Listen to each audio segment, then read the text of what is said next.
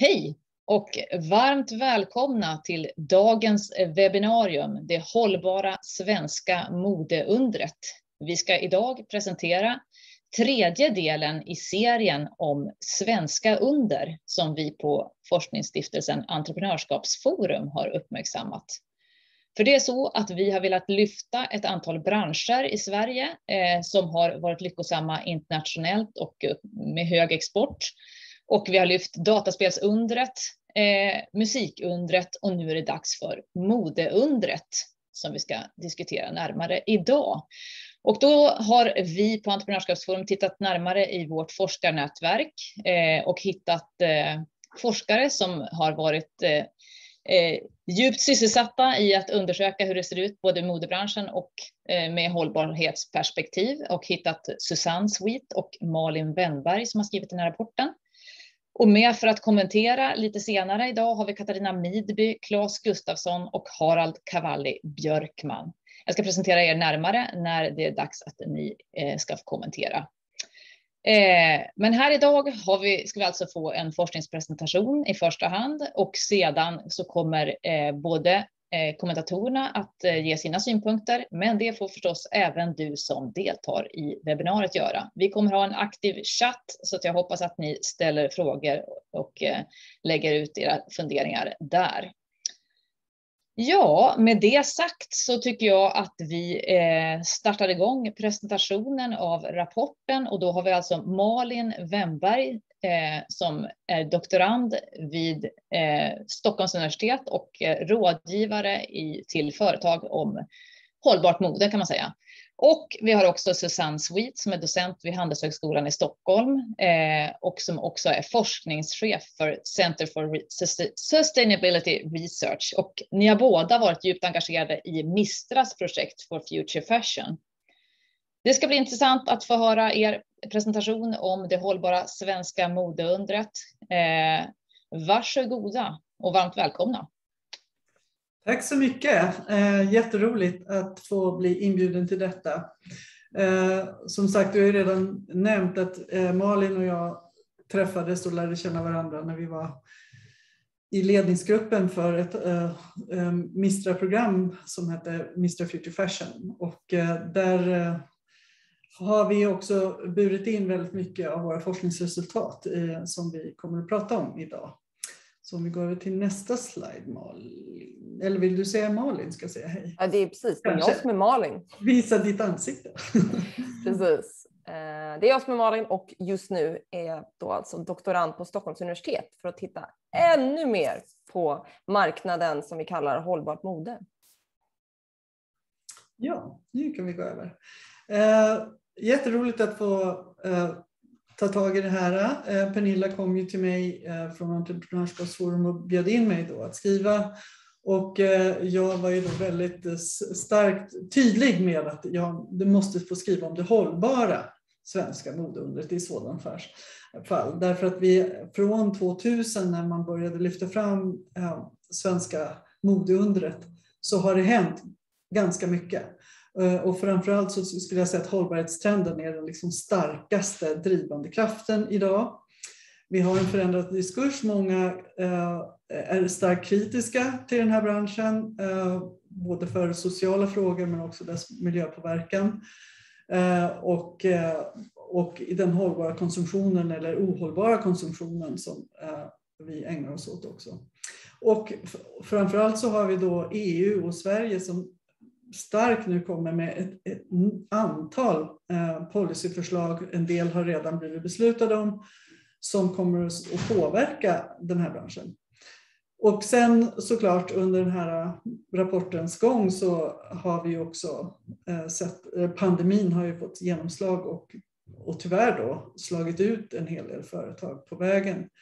Eh, där man åtminstone under det första året hade en stark nedgång i omsättning. Så om vi går över till nästa bild så kan vi se att fram till 2019, där hade vi ju den här starka tillväxten. Eh, om ni tittar på totalen där så ser vi att ni nästan fördubblade omsättningen på åtta år i den svenska modebranschen. Och eh, det här såklart medför ju också att vi har en ökad konsumtion och annan forskning och rapporter som har gjorts har visat att den konsumtionen går allt mer över till att människor använder sina plagg färre gånger. Så man köper liksom hela tiden mer. Eh, och, bygger upp egentligen ganska stora garderober eh, på vägen. Så att, eh, och det får ju såklart konsekvenser för Eh, hur vi så att säga, kan jobba då med hållbart mode och hur branschen behöver jobba framgent. Och nu kommer Malin att berätta lite grann här om just det, att det här var ju också starka trender. Vi hade eh, förutom det som då så att säga trendar här på hållbart mode. Det, det var ju också att Svensk Handel har gjort undersökningar där 2019 var verkligen svängåret för hur viktigt konsumenterna tyckte den här frågan var. Att det ökade kraftigt där. Och eh, där de fann att 85 procent av konsumenterna menar att det var viktigt att överväga sådana aspekter när man skulle köpa sina kläder. Och även återförsäljarna eh, märkte av det här ökade intresset från konsumenterna. Och de undersökte även företag som så att säga, jobbar med hållbarhet, eh, modeföretag som jobbar med hållbarhet. Och där har vi, såg de framförallt en stark ökning hos de mindre eh, företagen som ökade från 56 procent 2015 till 72 2019. Så det, det verkligen började hända väldigt mycket saker här innan pandemin. Och eh, en, en sån viktig aspekt var ju då 2018, här händer det snabbt Malin. 2018 så var eh, årets julklapp det använda plagget. Det vill säga att vi faktiskt vågar oss på att ge bort som eh, julklapp någonting som var recyclat. Eh, 2019 så eh, hade Els modemagasin eh, ett stort nummer om redesign och hållbarhet. Eh, och de trenderna som var väldigt starka då visade upp ett antal företag som jobbade hållbart. Och eh, idag, senaste numret av Vogue Scandinavia, Eh, har Greta Thunberg på omslaget. Klimatfrågan börjar verkligen lyftas fram som tydlig och stark. Och det här numret har precis nyligen kommit ut här i höst. Så nu ska Malin få berätta om nästa slide som jag hoppas då funkar. Eh, med hållbarhetsutmaningarna. Malin? Tack. Ja men precis, så att vi, vi helt enkelt vi ser att vi har en växande marknad. Det finns en ökad trend mot hållbarhet. Men då undrar man ju såklart, vad är hållbarhet? Så därför har vi i den här rapporten gjort en ganska snabb recap egentligen av den senaste forskningen, vad den säger om hållbart mode och vilka hållbarhetsutmaningar som egentligen finns. Först och främst har vi det här fina pajdiagrammet. Det här kommer alltså från Mistra Future Fashion, en rapport som släpptes 2019 av Gustav Sandin. Och det här är den mest omfattande livscykelanalysen vi har idag på svensk klädkonsumtion. Just det här visar klimatpåverkan i de olika delarna.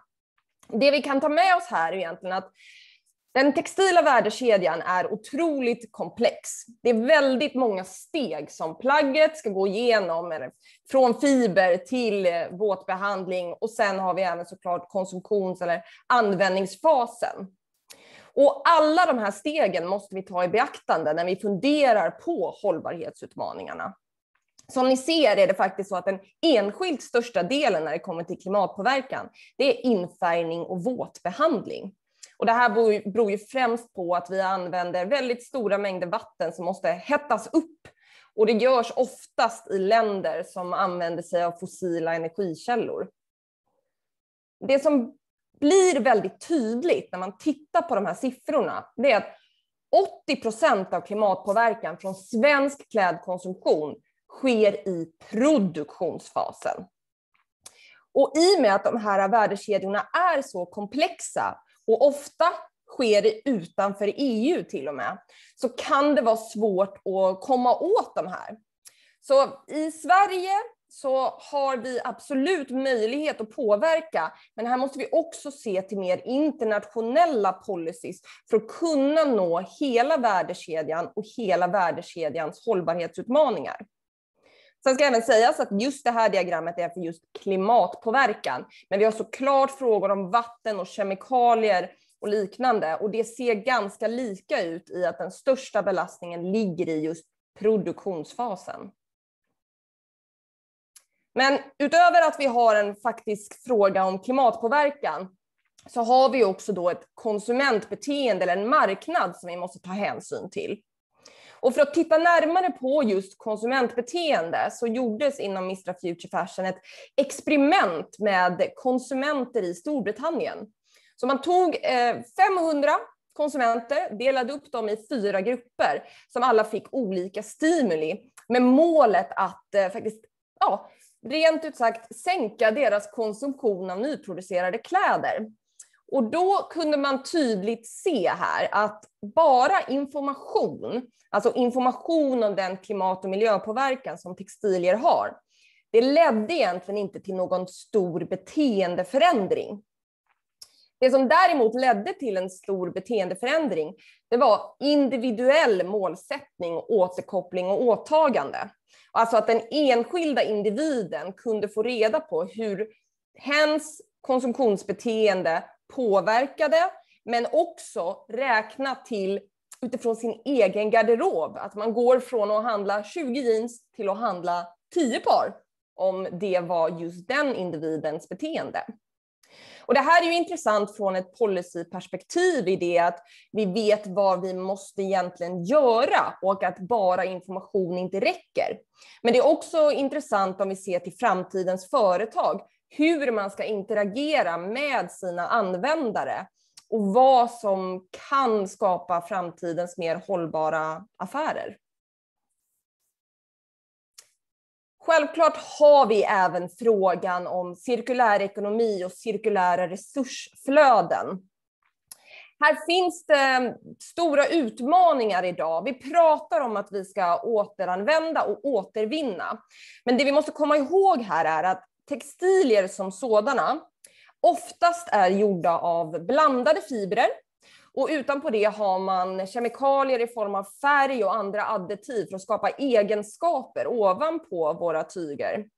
Och det här gör att återvinningsprocesserna blir svåra. Så att i, en, i ett litet resursflöde där man delar kläder mellan olika användare eller ger tillbaka kläder till butiken som kan återförsälja dem, ja, då har vi en, en ganska ska säga, lätt process som man, där man jobbar mer med affärsmodeller. Men när vi ska gå tillbaka längre tillbaka i värdekedjan till fiberproduktion, där har vi väldigt många komplexa utmaningar med att kunna separera olika fibertyper, med att ens kunna återvinna fibrer och bibehålla fiberns kvalitet i sig för att sedan kunna göra nya tyger av hög kvalitet. Så att det är kanske ibland lite svårare än vad man tror att faktiskt återvinna. Och här behöver vi policies och regleringar som premierar återvunna fibrer som gör att den marknaden kan växa. Sen har vi i rapporten listat många exempel på just cirkulära affärsmodeller och dess för och nackdelar. För det är även viktigt att komma ihåg att bara för att affärsmodellen per se är cirkulär behöver inte det heller betyda att den alltid är hållbar i och med att vi har många fler parametrar att väga in. Nu lämnar jag tillbaka till Susanne. Ja, eh, och eh, baserat då på de här eh, kunskapen om vilka utmaningar som finns och också ser eh, hur det har gått för de som har börjat jobba till exempel med mer cirkulära lösningar eller de som har eh, jobbat med hållbarhet i sina verksamheter, så ser vi ju att det har ju inte riktigt tagit fart. Ett, marknaden är inte riktigt där, det här gapet mellan köp eh, eller vad man vill, tycker är viktigt och hur man faktiskt sen agerar är ju en. En annan är ju också det här att det, det är ju speciellt. Det finns inte kanske tillräcklig eh, volym för återvunnet etc. Så det är en mängd massa utmaningar här som vi behöver liksom ta tag i och stödja för att det ska ta sig framåt och bli en ordentlig eh, hållbar marknad också ekonomiskt för de som ägnar sig åt det. Eh, men, eh, och det är ju som sagt mycket saker på gång som kanske också i grunden kan stötta det här. Vi har den här cirkulära ekonomin handlingsplan för omställning av Sverige. Den finns att ladda ner och där de också har pekat ut textilier som ett viktigt område eh, där vi behöver så att säga olika åtgärder för att stötta en omställning. Eh, momssänkning av reparation är gjord sedan 2017. Eh, vi har EUs Green Deal som är så att säga det stora paketet med mängder med olika åtgärder för eh, klimat, eh, allt möjligt helt enkelt. Och där finns också eh, cirkulär ekonomi för textil som ett förslag och där man redan har också beslutat om att eh, det, 2025 så ska vi ha en textilinsamling i alla EUs länder. Och där har då Sverige nu tagit fram en, en producentansvarsplan för att vi ska gå före och visa att det här går bra från redan 2024, så det är väldigt snart. Och sen finns det också mängder med eh, som myndigheterna har fått uppdrag av regeringen att göra med kommunikations och eh, företagsstöd när det gäller eh, vad man kan göra och hur man kan göra det. Där är dialogforum etc. som orienteras också till konsumenterna. Så att mycket eh, finns eh, redan som så att säga på gång. Eh, och, och om vi går över då till Eh, lite några punkter som vi har lyft fram där vi ser att vi kanske kan behöva en förstärkning av de här policyerna eller en förtydligande av de här policyerna och policyförslagen som redan ligger.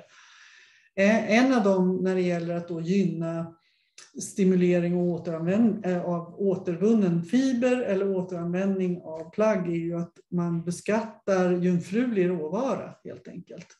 Eh, och idag så finns det ju eh, en del företag som blandar in återvunnen råvara i sina plagg. Oftast bara upp till 20 procent som är tekniskt möjligt för att det inte håller så bra kvalitet. Så därför behöver vi också förstärka och fortsätta de här redan liksom påbörjade projekten eh, när det gäller lösningar tekniskt om hur vi ska kunna liksom jobba vidare för att kunna skapa tyg av återvunnen råvara igen. Eh, och därför behövs det ju spårbarhet, sortering, separation etc. Det är otroligt mycket delar för att skapa den här cirkulariteten. Eh, och också då volymer eh, i tillräcklig omfattning som är stora nog så att det är attraktivt eh, för textiltillverkarna att använda. Och eh, där ser vi ett behov av att man samverkar kanske inom med insamlingen eh, runt i EUs alla länder och till och med kanske kan stötta en, en framväxt av en återvinningsindustri här inom EU. Och där behövs det också på något sätt marknadslösningar kring standardisering av de här kvaliteterna och att den här återvunna råvaran innehåller det den säger att den innehåller. Ehm, sen när det gäller konsumentens upptag av det här så det är klart att om man också går vidare, inte bara har på reparation utan också sänker momsen för begagnade kläder eh, helt och hållet så kanske man kan komma ytterligare ett steg till att göra de här kläderna mer attraktiva så att man stimulerar att man köper mer på begagnade-marknaden eller eh, och modeller som främjar det helt enkelt. Eh, och sen har vi det här med greenwashing som ju är lite av ett problem kan vi tycka, för att, eh, och flera med oss. Det finns ju en del märkning och certifieringssystem, men de ofta fokuserar ju på någon liten individuell sak. Och eh, de, eh, så de här gröna påståendena blir totalt obegripliga för konsumenten. Så där behöver vi också stärka upp ett system som innefattar flera av de här märkningarna och certifieringarna som finns och kanske också skapa nya. Så att man kan få ett, ett märkningssystem som människor kan förstå och lita på, eller åtminstone lita på. Eh, det har vi ju sett i, i livsmedelsindustrin till exempel, att kravmärkningen är någonting som man har hög, högt förtroende för och det behövs någonting sånt motsvarande för eh, textil, eh, ser vi eh, helt enkelt.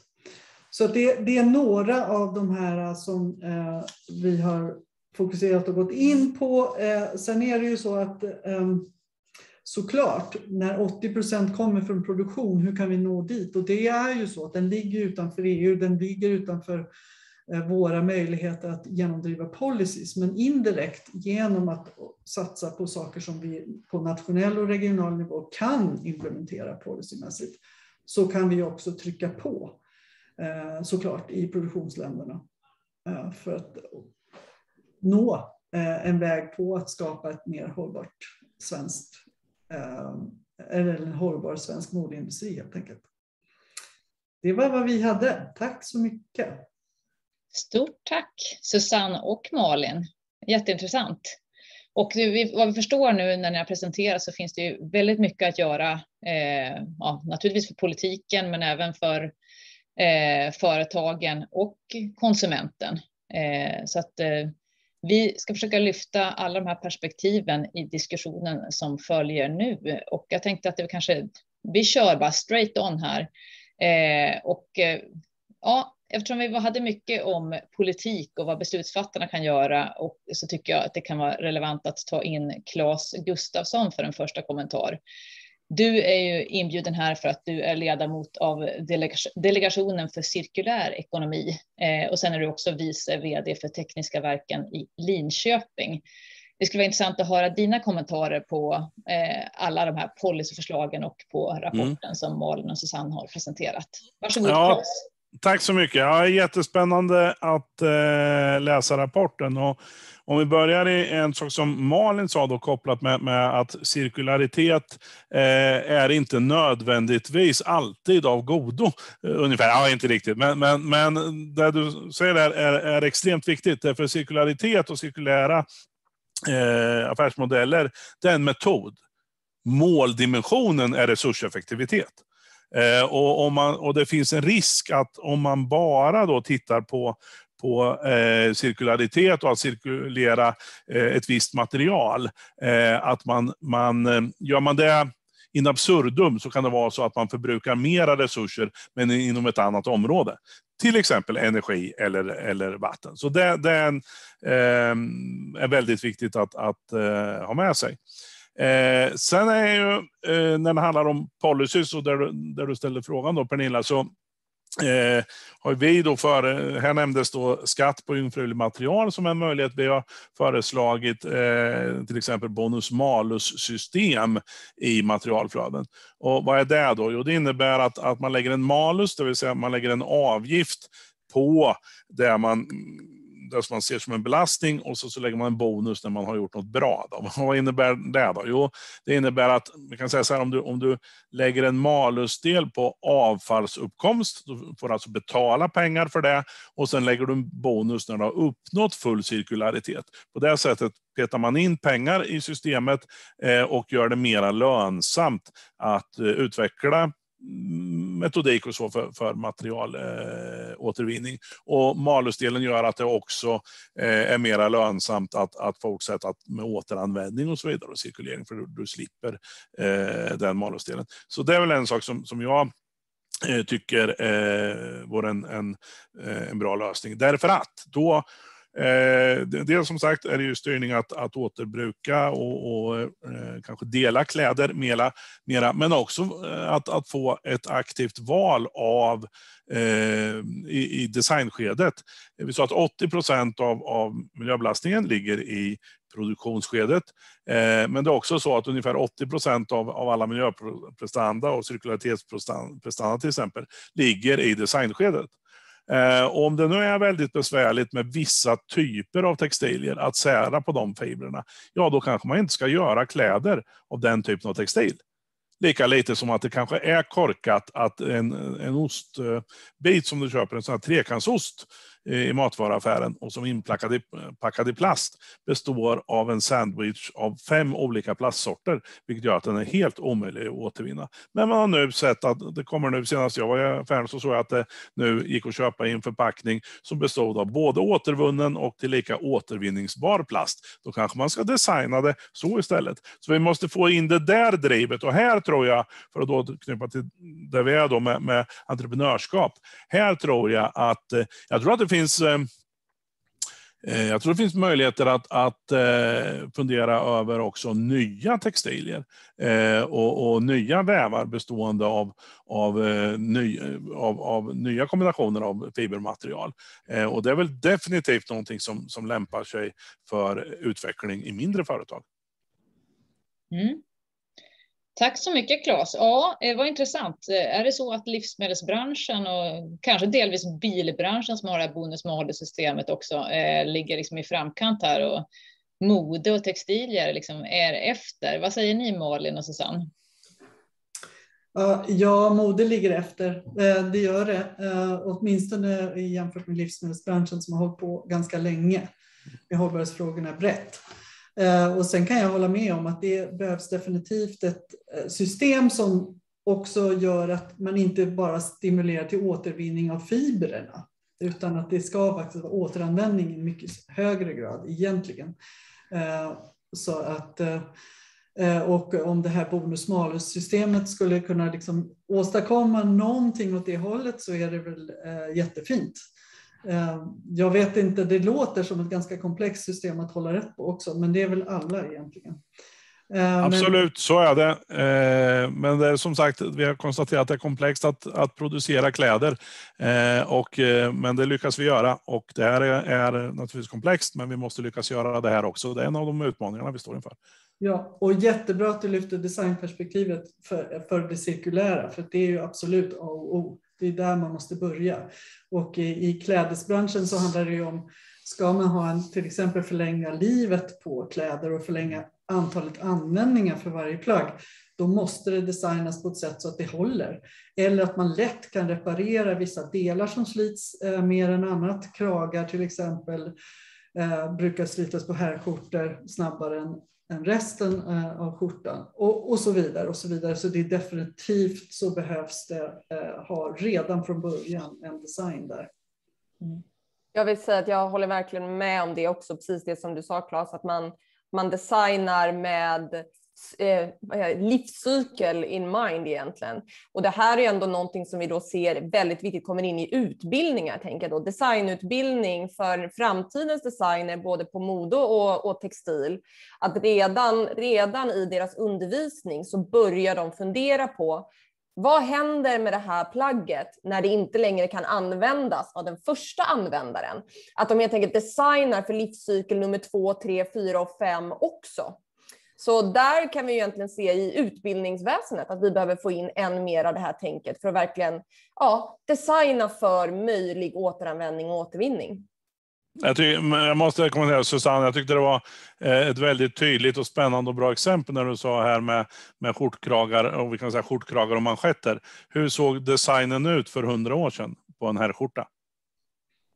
Lösa eh, kragar och lösa manschetter. Ja, Exakt. Delvis så blir det ju så att säga åter, återanvändning av gamla sätt att producera. Men också, du var ju inne på nya material till exempel som kanske håller sig bättre eh, och är mer mono så att den är lätt att at the end of the day eh, kan man fiberåtervinna också på ett bra sätt så att den går tillbaka till en högkvalitativ råvara, input till Nej, och, och, jag tror väldigt mycket på det här att, att, att ta företeelser från andra branscher och så stoppa in dem i sin egen och prova, funkar det här? Eh, vad händer om jag släpper ner det här? Och ibland så händer ingenting, men ibland så händer det saker. Så jag med refurbishing har du in, inom eh, verkstadsindustrin och där man, där man tar in eh, truckar och harvar och allt möjligt och sen så eh, fräschar man upp dem. Hur skulle refurbishing eh, se ut eh, inom, inom modeindustrin? Frågetecken. Jag har inte en aning, men, men som sagt att ta företeelser från annan bransch och, och titta på hur, vad, vad, skulle det här innebära. Det är ett, ett, sätt att innovera.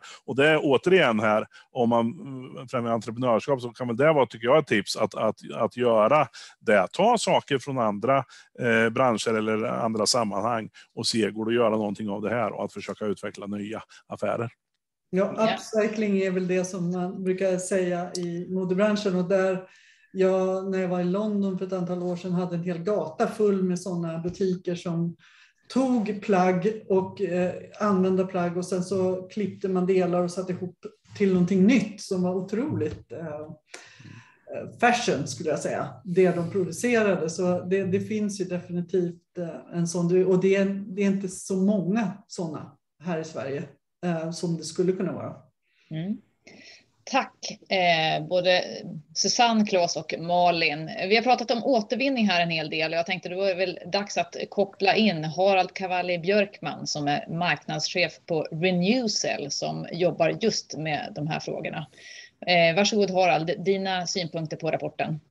Eh, tack eh, så mycket. Tack för att vi eh, får vara med här. Ja, jag är marknadschef på Renewcell. Vi driver en återvinningsanläggning för textil där vi i Kristinehamn och vi håller just nu på och bygger en tio gånger så stor anläggning i Ortviken i Sundsvall. Vi skalar upp helt enkelt. Men jag tänkte det var kul med tanke på att vi slutade med refurbishing här på slutet. Vi återbrukar en, ett, ett, mass, ett pappersbruk från SCA som de la ner förra året och bygger en ny textilåtervinningsanläggning i samma lokal mm. och med stort sett samma människor också som kommer driva den. Eh, den. För, för ett tanke just med det hållbara svenska modeundret som, som jag tar fasta på är varför ska det här ske här? Mycket handlar om påverkan som sker i utlandet. Vad är det som gör det svenska modeundret både ska vara och, och kan vara hållbart istället? Och det är ju två saker som vi har här. Vi har ingen stor textilindustri, men vi har designkunskap, egentligen designledarskap. Eh, några av världens mest framgångsrika varumärken har sin bas härifrån. Vi vet eh, just med tanke på designfasen eh, eh är där vi bestämmer klädesplaggets påverkan till stor del. Så det har vi eh, i Sverige. Vi har ett inflytande där. Eh, vi har också en en, något som vi kanske glömt bort men som fortfarande är en stor stark del av, av vår industriella bas, det är vår processindustriella kunskap. Vi vet hur vi driver effektiva processer för att omvandla material eh, på ett hållbart och effektivt sätt eh, med hjälp av en fantastisk resurs i form av grön energi också. Så, att, så att här finns det liksom en råvaruutvinning och, och, och designkunskap som är två enormt viktiga delar i en bransch baserad på material som mode är. Ehm, och där står ju vi då för processindustriella biten ehm, där vi, där vi genom vår process kan ta istället för träd som eh, cellulosabasen för att göra cellulosafiber kan ta bomullstextil eh, som då är cellulosa också och göra ny eh, massa som man kan göra nya textilfibrer av. Så, så det finns en stor, det finns en anledning till att vi bör vara och ska vara det hållbara och modeundret just i Sverige. Eh, en hel del andra tankar också, mycket spännande som sades innan, men jag kanske ska stanna där. Mm. Jag bara kommentera. Gärna det. Jättebra att du lyfter fram det, för att eh, alltså både teknisk kunskap, en lång historia om grön teknologi. Eh, sen kan man ju undra, och som jag skulle vilja ställa frågan till dig, så här, eh, får ni in, tror ni, genom den här återvinningen, alltså vilka utmaningar står ni för? För det är väl också så där att separation av fiber är en utmaning. Absolut. De är ofta blandade. Eh, och kommer ni få in tillräckligt stora volymer eller ser ni också att ni kan ta en ledande roll typ i Europa så att man liksom skeppar textiler från hela Europa hit? Ja, eh, det kommer vi. Det gör vi redan. Vi köper faktiskt globalt eh, det textilavfall som finns. Ehm, transporter har en påverkan. Måste se till att de är effektiva. Vi kommer att använda oceangående fartyg för det som man ser till att kilo, liksom impacten för, för, för det skeppade materialet är liten. Man får också se till så man inte slår sönder värdekedjan som ändå finns uppbyggd i, i, i återanvändning av textil. Eh, mycket av det som vi såg i diagrammet man går på export till, till, till, eh, till utlandet och utanför EU av det avfall som samlas in i Sverige. Eh, men det återbrukas ofta, eller en stor del i alla fall, en del av det återbrukas på plats. Eh, och man ser till så att man inte man, man skapar för problem på det sättet och vi ser till att vi håller avfallshierarkin vid liv så att säga. Mm. Eh, men återigen, anledningen till att vi är bra att driva en återvinningsfabrik, även om man eh, behöver skeppa till Sverige, är att vi har grön energi eh, och, eh, och eh, kunskapen som behövs för att driva de här processerna just i Sverige. Så att vi, vi kommer sourca globalt för att, och vi gör det redan för att få tag i den råvara som behövs eh, där den finns på plats. Vi får det både från textilproducerande länder, alltså spill, och vi får det i, i av, eh, eh Eh, avfall från konsument. Men med det nya, nya då från 2025 och det ökande andelen av textil som ska samlas in separat och förberedas för återvinning så hoppas vi att det kan bli en mycket större andel som redan eh, vid, i Europa bedöm, eh, kan få den bedömningen det här går inte att återanvända och på så sätt skapa en europeisk loop eh, också med eh, fibertillverkning eh, som finns bland annat i Tyskland och Österrike så att vi kan se till att få det snurra eh, även inom Europa så mycket som möjligt. Mm. Men ja, förlåt, jag ska också säga det är svårt att separera eh, eh, polyester från bomull. Eh, det stämmer, vi har viss tolerans för att göra det. Vi, kommer, vi har som siktar på att kunna ta bort 10% upp till 10% polyester eller andra fibrer i vår nya fabrik. Just nu jobbar vi med max 2% polyester. Då. Bomullen är det vi återvinner, resten blir lite i, i, i, i vår process. Så att, eh, mer mono, absolut. Återigen designkunskap där, precis som vi pratade om cirkulär design från början.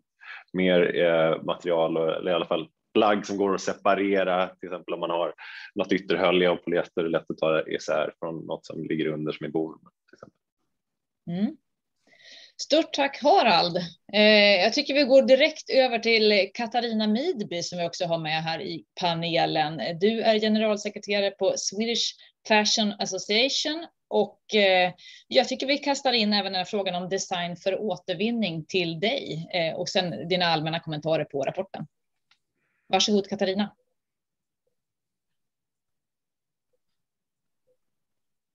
Så, nu har jag unmutat mig själv. Eh, hej allihopa, tack för att jag fick vara med här idag. Eh, och ja, vad gäller design för återvinning, jag tycker att många företag redan sysslar med det.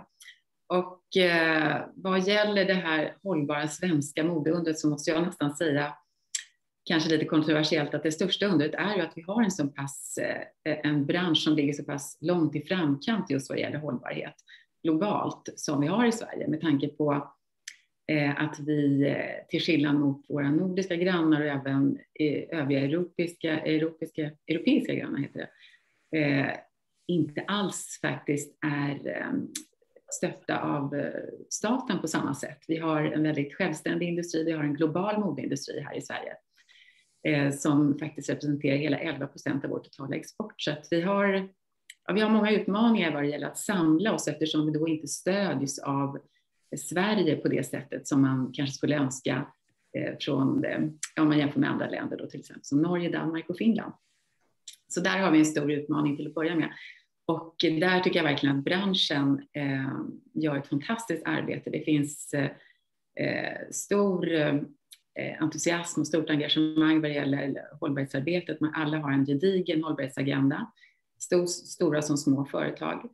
Eh, och eh, eh det finns otroligt mycket kunskap faktiskt i branschen. Däremot så önskar man att det fanns större kunskap, Eh, till exempel hos media som har en väldigt negativ syn på vår bransch här i Sverige, vilket också hindrar väldigt mycket, för det är naturligtvis media som våra politiker lyssnar på mycket och där har det blivit politiskt korrekt att klanka ner på branschen och väldigt allmänt, väldigt lite kunskap tycker jag i de här kommentarerna.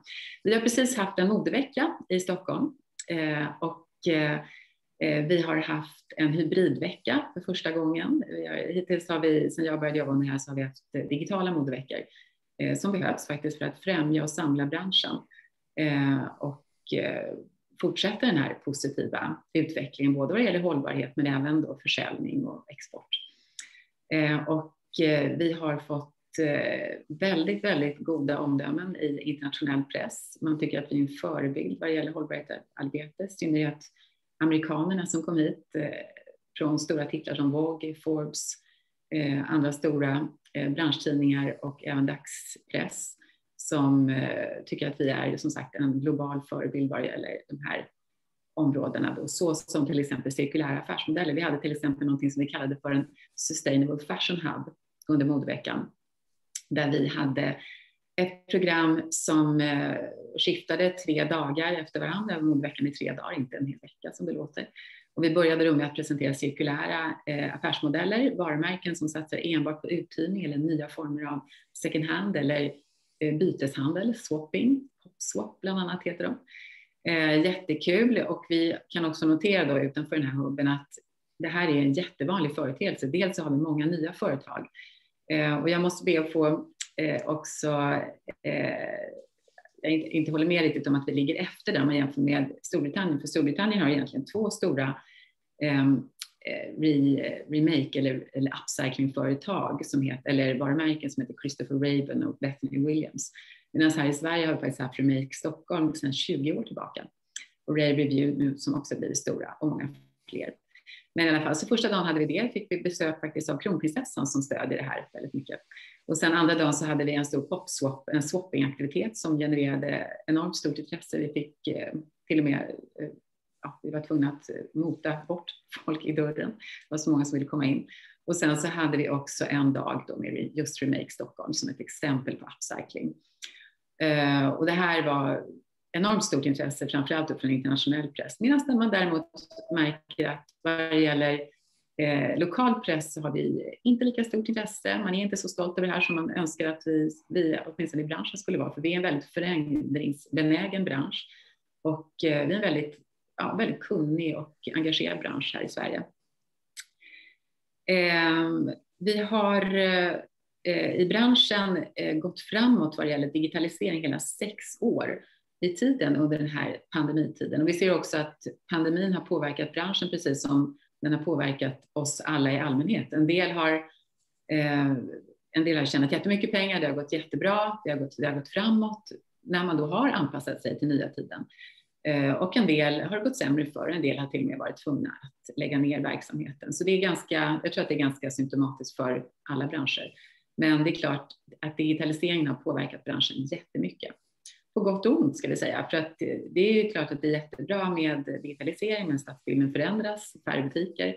Eh, vi har haft problem med returer.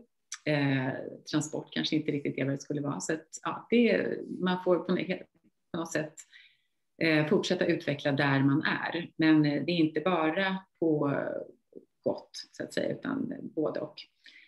Eh, vad skulle jag vilja säga mer? Jo, att Eh, Eh, branschen som sagt i Sverige eh, tror jag skulle kunna göra betydligt mer också som sagt att vi skulle ha en betydligt mer sammanhållen bransch om vi skulle ha ett tydligare stöd från Sverige och eh, ett, eh, ett nationellt stöd och in, kanske inte enbart eh, vad det gäller, vi har ju ett stort hållbarhetsprogram i Borås Eh, Eh, som kanske inte når ut tyvärr till hela branschen. Så det skulle vara bra om vi kunde samla branschen lite grann eh, inom landet, men även vara medvetna om att det är en väldigt internationell bransch. Stort tack Katarina. Jag kopplar först tillbaka till Malin och Susanne, men jag ser att Claes har vinkat och jag måste också eh, uppmuntra deltagarna att ställa frågor i chatten nu. Det finns stor möjlighet att få in sina frågor där. Ja, men åt till Malin och Susanne då för ja. kommentarer på. Ja, jättebra Katarina att du tar upp med Fashion Week, för vi la också in det som ett exempel i rapporten här sen för att man ju ska se att vi har, vi har ett jättestort intresse på den svenska marknaden och det finns verkligen många företag som har stora ambitioner. Och det är just därför vi ser att policy och regleringar och även företagsstöd som du sa Katarina måste följa upp det här intresset, att man, att man följer med.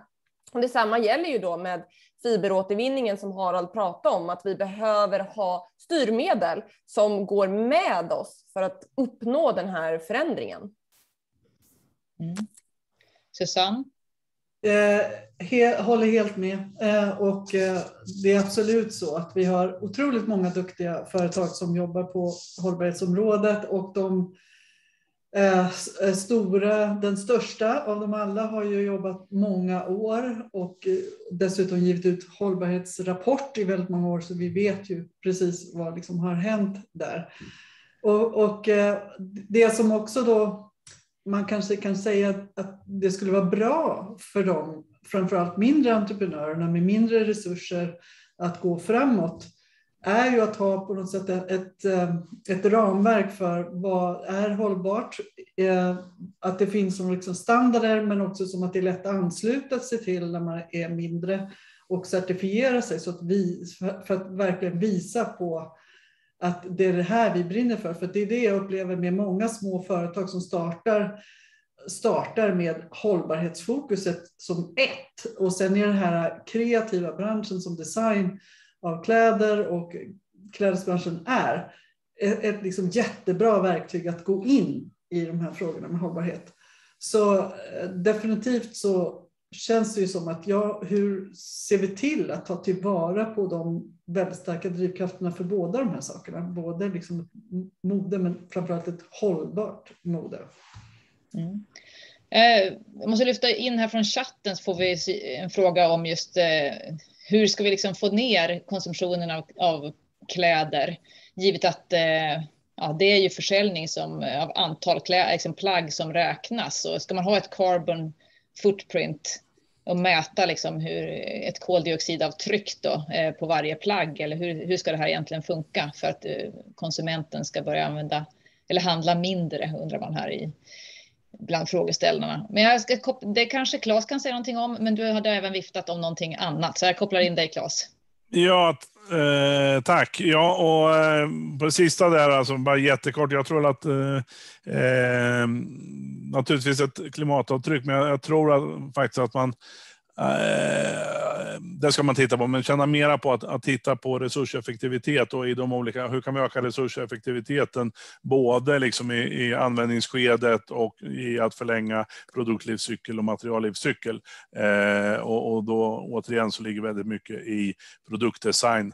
Eh, och när jag säger produktdesign så ska jag egentligen säga produkt slash tjänstedesign, det vill säga affärsmodeller är ju, är ju väldigt eh, viktiga. Det jag tänkte på, det Katarina sa, det är jätteroligt att, att eh, den svenska branschen ligger i, i, i framkant eh, här i, i, ett internationellt perspektiv. Men då blir jag nyfiken. Eh, och vi har ju sett eh, siffror här, eh, bland annat på på hur ofta plagg används. Och då blir min fråga, okej, okay, hur många gånger mer används sven, svenska plagg, om vi säger plagg från den svenska modeindustrin jämfört med internationella modeindustrin? Eh, också hur många procent återvunnen fiber har vi i de, från, i de svenska företagens plagg? Eh, samt eh, hur mycket är återvinningsbart? För det är ju liksom de prestanda som vi ju någonstans måste mäta här. Om, om vi tittar på andra områden där vi har, har ut utmaningar, till exempel plastförpackningar, där, där det eh, faktiskt är på det sättet att det, det är bara 16 procent som samlas in på det sätt de ska, därför huvuddelen hamnar i, i det vi kallar för restavfall, vilket de vanliga soppåsen som vi vanliga människor säger. Eh, av det då så klarar Europas modernaste sorteringsanläggning som ligger i Motala av att ta hand om hälften och hälften blir då rejekt, precis som Harald får rejekt i, i eh, sin produktion. Så det innebär att det är prestanda för närvarande att procent av det som säljs på marknaden materialåtervinns och det är alldeles för dåligt. Eh, vi har motsvarande utmaningar när det handlar om textilier. Eh, därför att, eh, och då om jag backar tillbaka till som, min roll som vice vd på Tekniska verken i Linköping, när vi gör plockanalyser på avfall, så är det ju så att då är det en viss mängd som är textilier som hamnar i, i den vanliga soppåsen. Eh, och där ska det ju inte vara. Och hur ska vi kunna förbättra prestanda? Både så, så att eh, först förlänga eh, produktlivscykeln så kläderna används så många gånger som möjligt och sen då så att vi kan förlänga materiallivscykeln genom att samla in det, genom att skicka det till Harald och Harald kan eh, få lite rejekt som han behöver skicka tillbaka eh, för energiåtervinning, utan så mycket som möjligt som blir nytt material och som blir, blir nya kläder. Men hur, hur är vi där i, i prestandamåtten där när vi jämför Sverige med internationellt? Mm.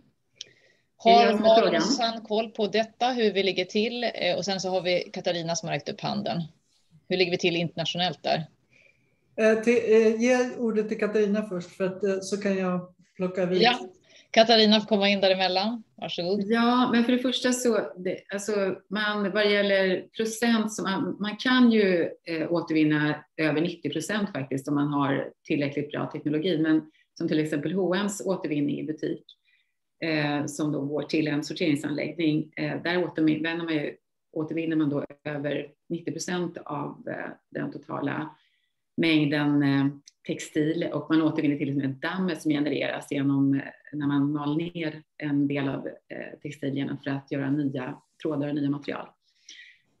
Så där finns det en stor del, men framförallt så tror jag också det handlar jättemycket om att om hela den här inställningen till mode, för det, man säger man har en extrem rädsla för greenwashing, vilket gör att många företag som faktiskt gör ett väldigt omfattande arbete vad det gäller material och vad det gäller produktion inte vågar kommunicera det och det gör ju mycket svårare för kunden eller konsumenten eller användaren som vi helst vill vara, vi vill ju, vi vill ju eh, göra mer än konsumera, eh, har väldigt svårt att urskilja vad som är bra och dåligt. Och, och, det är jättebra om man kan ha en certifiering, absolut, men det kommer ju inte hända innan vi kanske har blockchain-teknologi genom hela värdekedjan. Men där tror jag att det är, jag tror att hela inställningen i Sverige, den är, det är väldigt speciellt faktiskt om man jämför med andra länder, att man då inte vågar kommunicera alls, vilket gör som sagt att det är jättesvårt för konsumenten att bedöma hur mycket och därmed är det precis lika svårt att eh, mäta hur många procent som återvinns eh, i landet. Och det tror jag nästan jag tror inte det finns siffror på det här i något land eller på någon marknad. Men eh, jag tror att det har väldigt mycket med den här inställningen att göra faktiskt. Tack. Ja, vi ser ju också i chatten att det är stora frågetecken kring vad man ska köpa egentligen. Om man ska mm. köpa just plagg som, eh, där man kan tänka på att allting kan återvinnas. Men vad jag har sett i rapporten så lyfter Susanne och Malin fram just det att man ska kunna använda plagget så länge, och, så många gånger och så länge som möjligt. Det är det mest eh, hållbara eh, helt enkelt. Men Susanne kanske har letat och hittat fler svar som du tänkt på. Nej, men just den här kring konsumtionen tänkte jag på för att, eh, och konsumenten och hur man kan stötta konsumentens eh, engagemang som ändå finns där. Eh, och, det är ju att jag tänker också att företagen där behöver vara väldigt tydliga och engagera in sina, sina kunder helt enkelt eller användare av deras kläder. För att ja, Eh, vi kan inte underkommunicera. Vi kan inte vara rädda för att kommunicera. Det är liksom inte det som är poängen. Tvärtom så måste vi kanske överkommunicera ett bra tag som företag för att liksom visa på vad vi gör. Eh, och eh, där kan ju då ett certifieringssystem hjälpa där man bakar in kanske ganska mycket. För en konsument tänker jag kan inte alla detaljer om allting. Eh, som är likat med krav som har liksom ökat antalet faktorer som den certifieringen och den märkningen bygger på. Eh, så det behövs någon som lite mer enhetlig eh, och där man den här samverkan eh, inom industrin själva eller med klädföretagen, modeföretagen själva krävs för att liksom de ska komma framåt i den frågan. Eh, för nu spretar det väldigt mycket och ehm, och så en kan, liksom så organic cotton, är det eh, hållbart? Nej, inte om eh, sen man färgar med gift, eh, ganska giftiga kemikalier och använder väldigt mycket vatten som går orenat ut i floderna eh, när man liksom färgar plagget. Så alltså, det är ju verkligen extremt komplexa frågor och det är många frågor så därför så, så är det ju bättre att branschen själva går samman där man faktiskt tar in de här materiella, stora, eh, svåra frågorna och bakar in det i, i en märkning till konsument. För konsumenten eh, kommer aldrig, eh, eller användare, Nej. kommer aldrig att kunna ha den detaljkunskapen på, på djupnivå så att säga. Eh, och, och, och sen handlar det väldigt mycket då om att man måste lita på den här märkningen. Alltså man måste bygga upp ett förtroende. Helt mm. Ja, ja, vi har fått, in, eh, fått upp många händer här. Harald var först, men jag kan också slänga in den här frågan om, eftersom vi vill lyfta entreprenörskapet här, eftersom vi får en fråga om hur kan mindre mode och textilföretag eh, hänga på det här och var är det mest nytta att de fokuserar mm, om de ska hänga på det hållbara modeundret? Liksom var, var i kedjan ska de komma in? Eh, har Harald först, eh, så får, får ni övriga som har eh, räckt upp era händer också svara. Ja, ja men lite kort, jag, jag tänker på det här med, med, med märkning och sådant och, och jag, jag, håller väl med om att det, det, är olyckligt att lägga det på konsumenten. Vi skulle säkert på Renewcell gynnas av att ha, ha världens bästa märkning och så hade våra nedströmskunder kunnat använda det. Men, men någonting som jag tycker att varumärkena borde de har massor med människor, inte alla, men vissa har det. Jag har människor som har liksom som jobb att titta på vad det är för avtryck de har nytta av varumärken. De har tid att sitta och jämföra, jämföra eh, staplar och annat. Vad de borde ha är liksom, deras varumärke är märkningen. De behöver bestämma sig för att skapa den tilliten i förhållande till sitt eget varumärke och de behöver kunna stå för det hela tiden. Så, att, så att det här med att vad man säger med ytterligare en, varu, en, en, en, en, stämpel, eh, om det är grönt eller något annat, det är att man inte kan lita på det från varumärket i sig själv. Eh, så det är det jag tycker är mer självförtroende i det, det här står vi för och sen så kanske fokusera det i varumärkena i mötet med konsumenten, sitt eget varumärke. Eh, sen så det här var kanske inte svar på något, någon direkt fråga, men, men, men det är lite allmänt där. Eh, vi behöver tänka på om man ska eh, ha med återvinning som, som, som en del i den här cirkulära ekonomin så det är viktigt att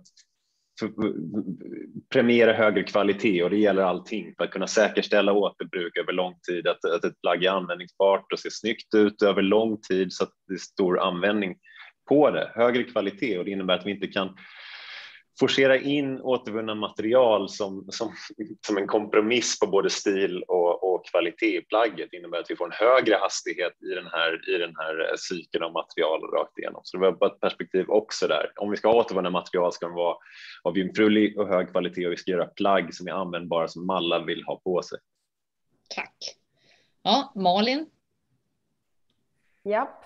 Eh, jag går tillbaka lite till det nu mm. Katarina och Susanne var inne på här också om att Ja, men vi har en marknad. Vi har en marknad som är väldigt intresserad av att skapa nya hållbara affärsmodeller. Vi har konsumenter som är väldigt intresserade av hållbarhetsfrågorna. Vi ser de här strömningarna, men vi ser ju inte beteendeförändringen.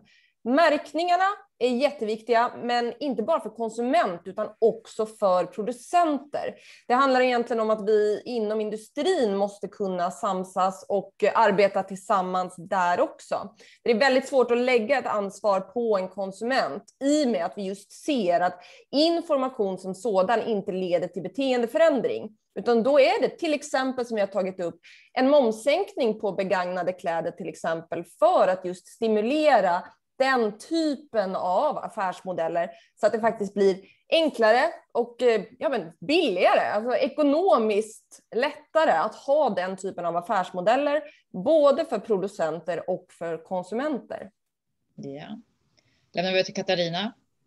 Ja, nej men jag, bara en kort kommentar om märkning för det första, om, om de här certifieringarna. Det är, man måste ju verkligen i så fall jobba väldigt internationellt eftersom det finns så otroligt många certifieringar. Och det är förvirrande för konsumenten. Men eh, eh, jag tror att det är svårt att jämföra med livsmedelsindustrin eftersom den är så pass lokal ändå, eller mer lokal i alla fall, fast också lite internationell. Eh, men annars vad det gäller tycker jag att alltså, det handlar jättemycket om kunskap och engagemang och liksom också stöd att kunna våga kommunicera mer. För det handlar jättemycket om att i en garderob så kanske man inte har bara ett sätt att använda mode, utan man har till exempel man jobbar med uthyrning vad det gäller vissa speciella tillfällen och gör det tillgängligt som till exempel It's Released eller Hack Your Closet som erbjuder jättebra eh, eller prenumerationer på mode eh, just för plagg som man kanske inte använder hela tiden eller som man bara vill använda kanske en månad. Eh, och sen handlar det också om att göra den här byteshandeln som till exempel Popshop har gjort en jättebra eh, affärsmodell av den, att man kan byta digitalt och lokalt framför allt så att det, man sparar utsläpp både vad det gäller transporter och eh, användning. Eh, och sen att man, att man helt enkelt eh, förstår vad, vad det är man ska köpa långsiktigt. Och då får man ju heller inte stryka på foten för mycket vad det gäller design och mode. För trots allt så är det, engagemanget i branschen finns ju för att vi alla tycker om design och mode och, och själva materialen, eh, dekorationerna formerna. Det är det som gör att vi tycker om mode. Jag ser att du Harald har på dig en tröja av Patagonia. De har ju lyckats inbädda ett förtroende hos sina, hos sina kunder genom en väldigt, eh, ja, väldigt eh, dramatisk eh, marknadsföring, men som verkligen har funkat. Köp inte det här plagget om du inte absolut behöver det. Eh, det, är, ja, det är jättesmart att göra på sådana plagg som också de här, den, den tröja du har på dig, säkert gjord av återvunnen polyester liknande. Ja, bara aldrig tvättas. Ja. Passar bra till allt. Jag menar, det är liksom lite olika också vilken typ av varor, vara man säljer. Men vad som är intressant också är företag som till exempel Swedish Stocking som håller på att ändra hela strumpbyxor. För strump, just strumpbyxor är en av de varor som vi kastar bort mest av alla. Och att, eh, att eh, få till ett återvunnet, ett återvinnbart system just för strumpbyxor är ju en jättebra idé och det lyckas de verkligen med. De lyckas till och med återvinna strumpor som inte går att återvinna tidigare strumpor till eh, andra produkter som till exempel jättesnygga bord. Så att det, ja, det finns oändliga saker man kan göra och det finns verkligen eh, mycket, eh, mycket energi och mycket nyskaparanda i branschen just för de här ämnena. Så därför jag tycker också Härligt. att det är så roligt om vi skulle få ännu större eh, ja, att det skulle komma ut med att man skulle våga prata om det mer. Att det skulle ja. få en, man skulle ändra synen på modebranschen i Sverige. Stort, stort, tack för det Katarina. Vi har många fler exempel också att lyfta, lyfta i Susanne och Malins rapport. Eh, längst bak finns ett, eh, flera sidor med, med eh, uppslag över företag som faktiskt jobbar med hållbarhet på olika sätt inom modebranschen. Men vi startade lite, lite sent, så om ni bara säger liksom lyfter i det sista här nu då. Eh, bara ett en mening var. Vad är det viktigaste nu för att vi ska säkra det hållbara svenska modeundret om tio år? Eh, vad är det ni vill lyfta? Eh, om vi börjar med Harald. En grej som du särskilt vill lyfta fram.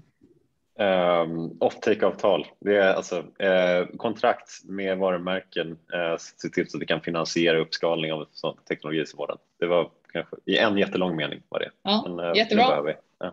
Tack. Claes Gustafsson, vad säger du? Den eh, enskilt viktigaste och samtidigt den enskilt svåraste transformationen från en linjär till en cirkulär ekonomi, det är den som behöver ske här inne i allas våra huvuden.